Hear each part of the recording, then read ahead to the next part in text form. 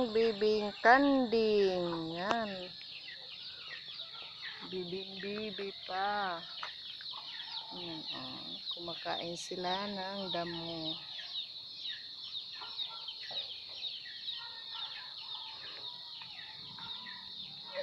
Yan.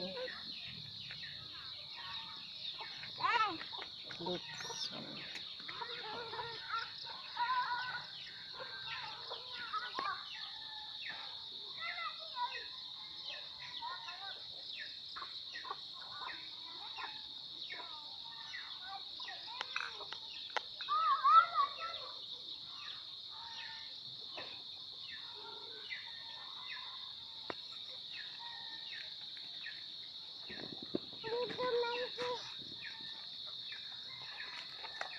Ikaw ron akong i...